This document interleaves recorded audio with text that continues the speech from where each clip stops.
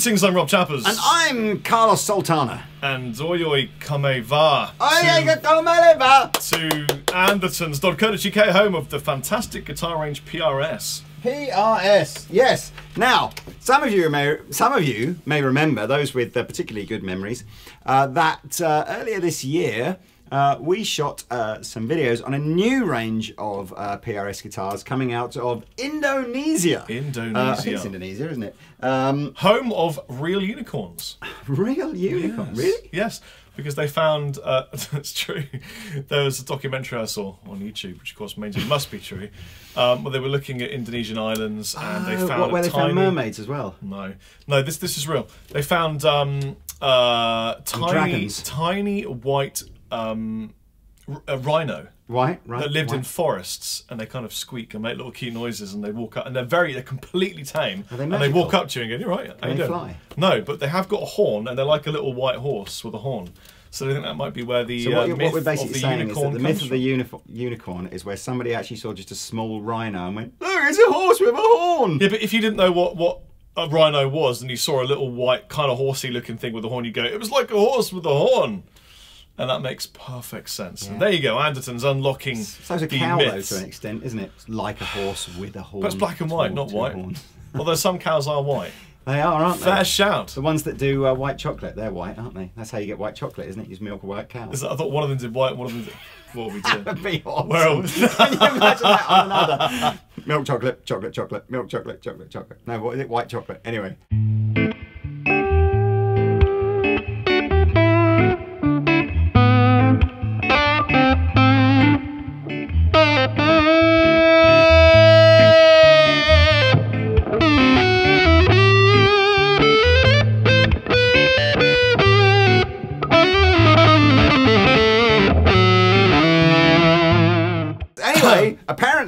uh, yes, so this fantastic new range of guitars called SE Standard. And you may remember, because um, Rob and Rabea liked them so much that the Rabea ended up actually buying uh, an SE Standard uh, and then we used 245. it. We used it all over our album. Um, great value. So th- this range is designed to sit underneath what you guys currently know as the SE, kind of the Korean SE range. Um, so Carlos, Carlos Santana, you know the. Um, I want to say the original kind of PRS endorsee. I think he kind of. I was, think he is the first- he was the first guy that the guy, the got, one that yeah. Paul Reed Smith, I think, hunted all around the country, all around North America, saying, please try my guitars, please try my guitars. And eventually he did, and probably said something like, man, these things, these are great. Or something like that in his sort of Mexican accent, uh, or whatever. that wasn't a very good Mexican accent at all, was it? I, to be honest, I can't do a Mexican accent, although I have been to. Um, say yeah. Arriba, Arriba twice, and then everything else will flow into Mexican? Yeah.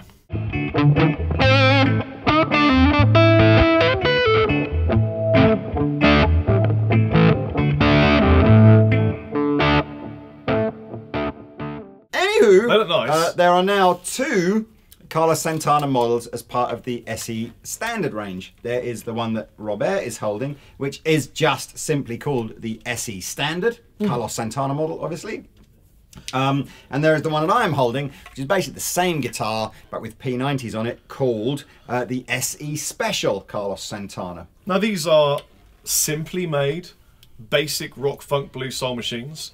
Mahogany Um, bodies. It's a mahogany body, mahogany Pretty lightweight neck. though, isn't it? I, it's a, it's a, it's either. Oh, it's very lightweight. Yeah, I'm guessing it's a sort of. 'cause It doesn't f- sort of. I don't believe it's chambered, other than the other than the, the electronics cavity. So I'm guessing it's just a. It's a particularly sort of unheavy grade of mahogany. Have you got It's- the same tailpiece? No. No, it's no, not the only Mine difference. is mine is the beautiful PRS tremolo tailpiece. tremolo. Tremolo. Um, and mine is a sort of a compensated intonation wraparound um, tailpiece. Do you know like what the official much. spec of the neck gauge is, Lee? Because I'm going to say this is kind of a, a regular from PRS. Officially, I don't know, but but with the power of the Tinterweb, I can find out for you. Fire it up. Um.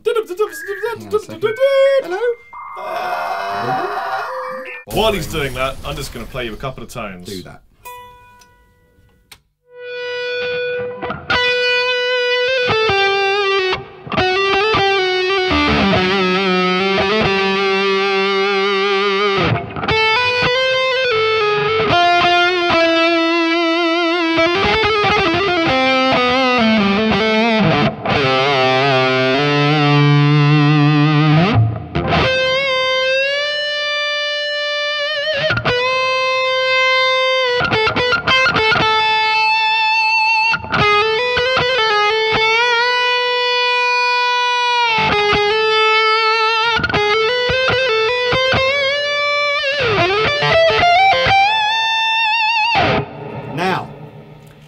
Just as you're getting some sick tones out of that, there's possibly a reason for that.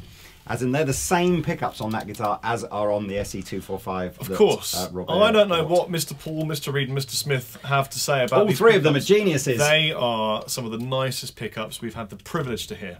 So both guitars have a PRS wide fat neck. So that means it's wide this way and it's fat this way. Well, that's interesting because Um, it didn't feel it doesn't feel particularly fat to me. Well, I don't know. This is definitely fatter than a wide thin. Yeah, maybe I just maybe my hands grew. I think they grew. That's what it is. You know what? It's probably all the pointy, thin shred machines we were doing yesterday. Uh, Do you know what? You have a complete point there because wide, thin, fat, skinny. It's it's completely the actual difference in the necks is all millimeters. Yeah. But I think what happens is as soon as you play one for any period of time, it becomes normal, and therefore then when you go to something else, it's like ooh. Yeah. You play that for a bit. and okay, Anyway, ooh, anyway, whatever. So wide, fat necks, 24 and a half inch scale length. So, you know, we're talking about um, the same scale length as the uh, PRS SE245, which is a fraction shorter uh, than um, you might find on a, um, a Les Paul. Yes, Um, and Paul Reed Smith describes that as giving you slightly more of a hoopy scoopy sound, which I like. And I think these must have 10 gauge strings on them because they feel there's a fair amount of tension given that it's a short scale or a shorter scale neck. Now, it says in the spec that it is specifically sourced lightweight mahogany. Okay. So after me sort of going, "Hmm, it's particularly lightweight So then it's isn't it? it's and it's it's probably the species we call sapele. It is. Uh, I see. Is it? Uh, Probably. it's well, um, more than likely Cause... It's because they water it with diet water. that's That's what it is. yeah, calorie free Seven Up. They also has got what it pinties in it. It's got what? Pinties. What's P90s? P90s. Oh, P90s. Yeah. These are just classed as the PRS SE P90s. Uh, they both come with deluxe Wait, wait. bags. That camera's died, Lee. Well, who set that up then? Well, no, I think the battery's just run out because it's just Well, it can't have had absorbed much battery, can it? No. I blame Rabea. I definitely blame.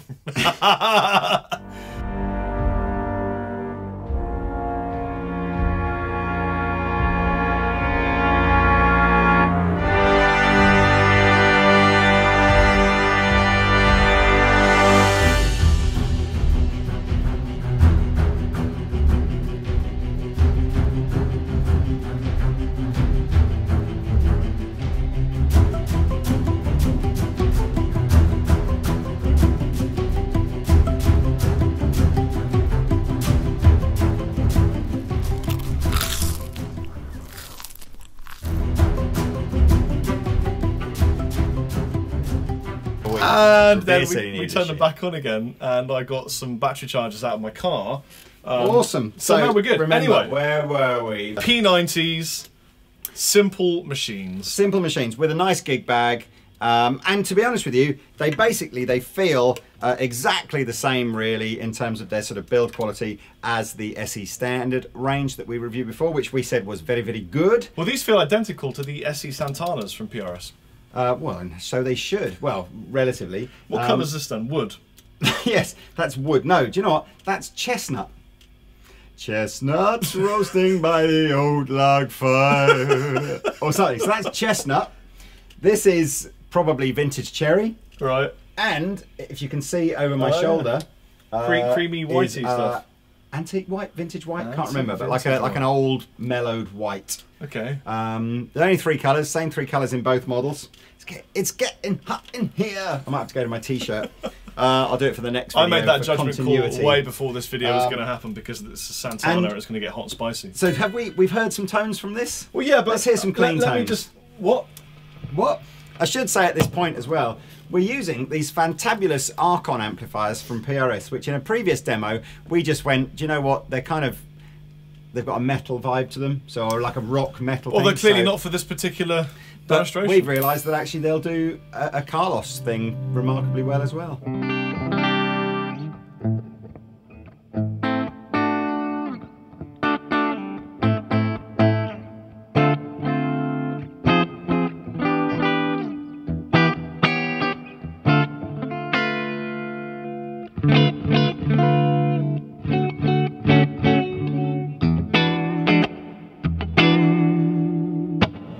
Nice and it's fat and warm.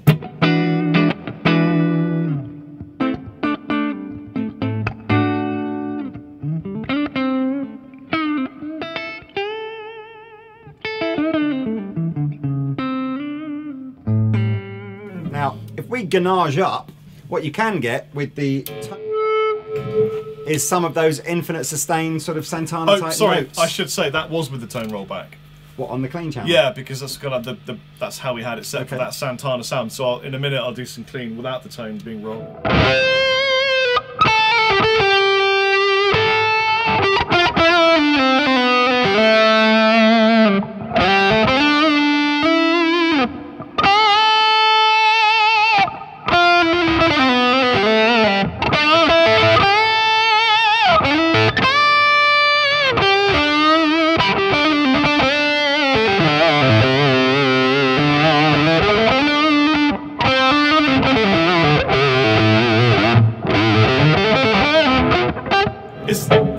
Just want to shred on it because But- I'm a shredder, But don't don't do that. but also Carlos. it's really easy to play, it's Carlos, man. and it, and it does that. It just it's got that sustaining point all over the guitar where you can kind of you know.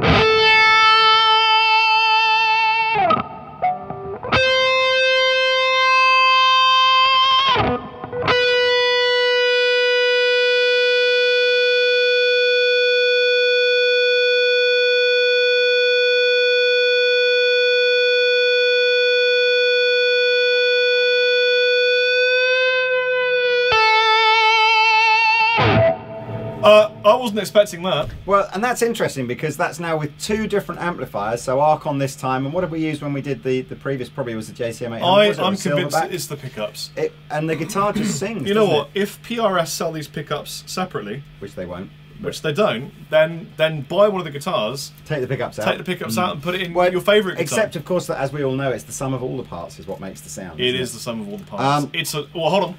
Let's just let's just put that tone full in, Do and it. now take a.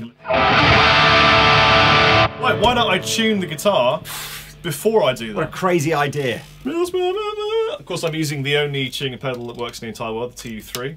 Not true. So we're all tuned, Lee. Good. Let's see how it sounds with all the tone and all What, the with, tuning. with clean or with gain? No, gain first, then a bit of clean. Can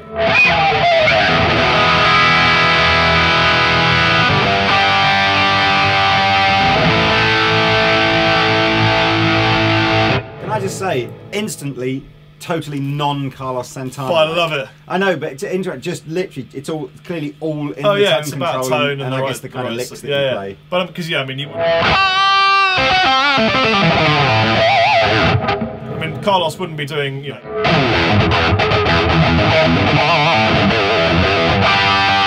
And to be honest with you, I can't imagine anybody wanting to do that would buy a Carlos Santana. No. Not because it can't But do you it, could. but just because it's you know it's like it's just the wrong-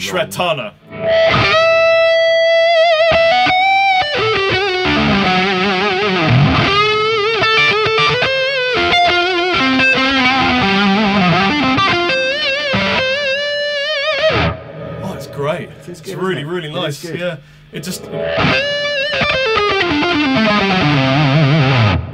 Who's, Wait, wait, wait, clean. Who's eagle-eyed enough out there of you to spot that actually the Carlos Santana shape is actually uh, its own unique PRS shape? I am. You are. Yes. Uh, kind of reminds me a little of like a, a Les Paul double cutaway. It's like an ESP sort of pot belly. special. It's like a pot belly. Does it? Yeah. Um, but yes, so uh, he, it's a, I think it's a little fatter here, a little fatter here.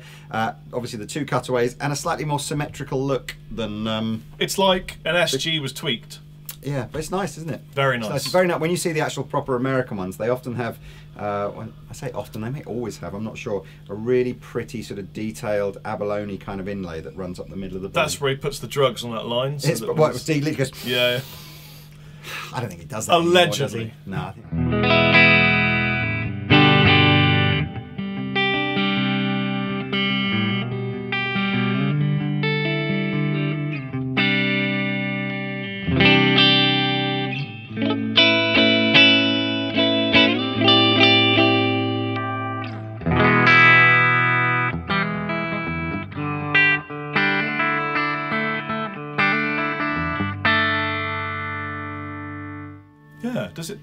Doesn't tap. I wondered if it might do. Doesn't, uh, oh, Well, yours won't, but I wondered if So yours did. doesn't? No, No, no. Not, not on the back one. No, I tried back and front. Um, but it does come with a gig bag and obviously a trem system and lots of nice things like that. And it's three hundred and ninety nine pounds Oh! in England. Don't know what it That's is. not a lot of imperial credits of the realm. No, it's very good value. So uh, I'm having, I've got the same basic amplifier, but in a but in a sort of a 50 watt 112 combo rather than head. So it'll sound a little different, but hopefully similar enough. Um, and of course, I have P90s. So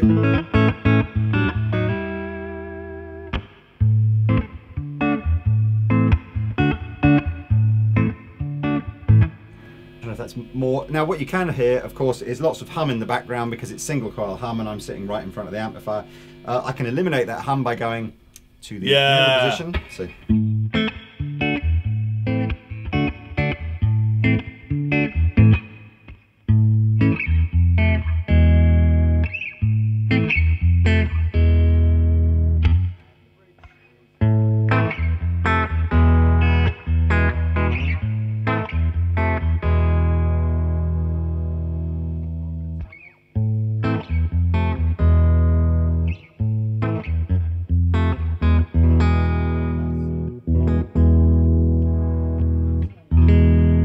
Captain Lee Flesh Tone. Can we hear it with Stone Tone? You can hear stone tone.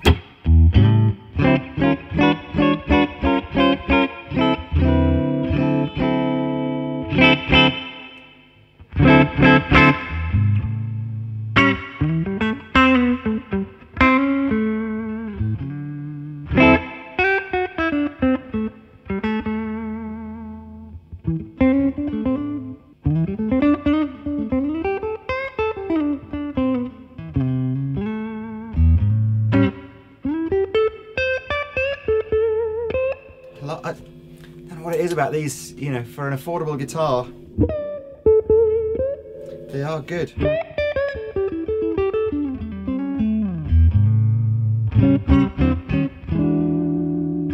Kick Now. it up, bro. So, oh, this is where you are going to encounter a few problems with a P90 guitar. It's going to be noisy, I'm afraid, um, unless we use that middle position. And What's a is gonna good kind of noise? That's noisy. like a vintage car. You know, you want that kind of grunt. Yeah. So.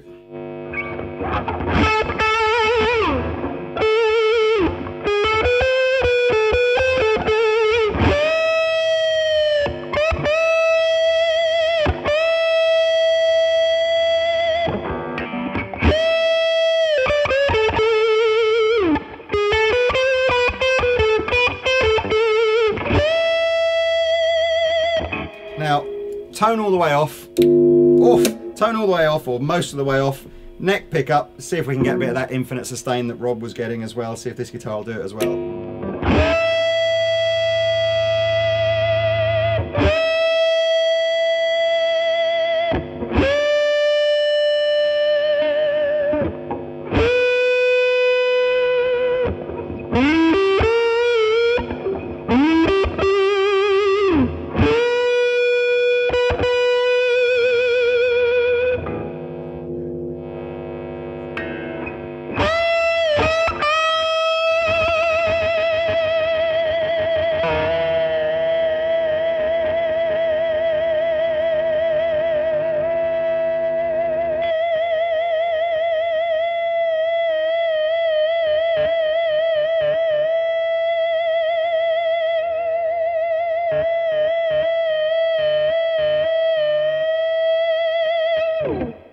You can just about get it to feedback. I might get it if it was a bit more volume on the amplifier, but it's definitely sounding like the humbuckers want to go there. The P90s don't More quite want to go there. it's a they? subtle kind of thing. P90s. Um, but I think it's nice for perhaps a more of a back.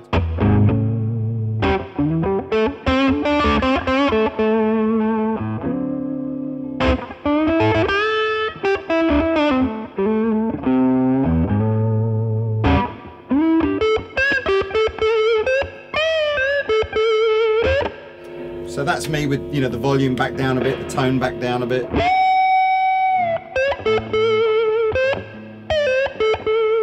You're jamming in. Let me check on tune to Okay. you.